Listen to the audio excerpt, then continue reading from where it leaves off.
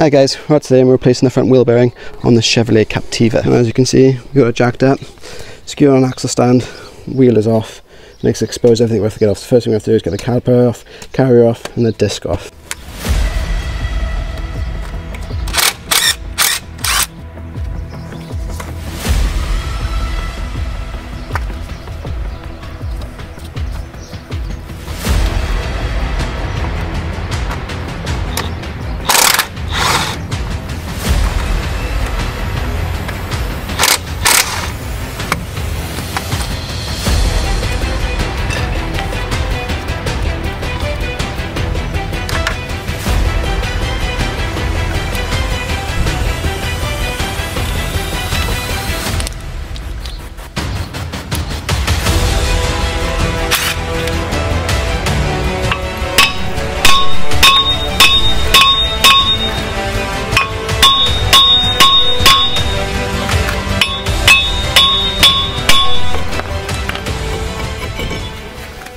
Now with that off, what we've done is exposed the hub here.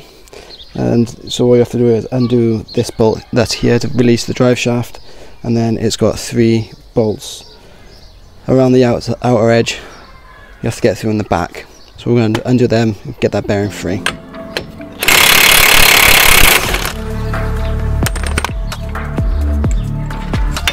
It's alright, It's alright. Just because of the nature of these um, bolts, they do tend to be a little bit seized.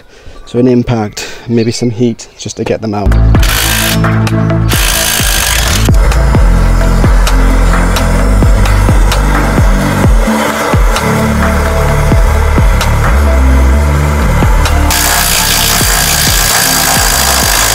That leaves us with the most tricky one left to last. That is the rear one, sort of towards the back of the vehicle. Turns out I'm a bit of a liar because that one just flew out. It was uh, definitely the easiest one so far. Now here comes the hard work. So this is actually all seized in there together. So now we have to separate it all up somehow.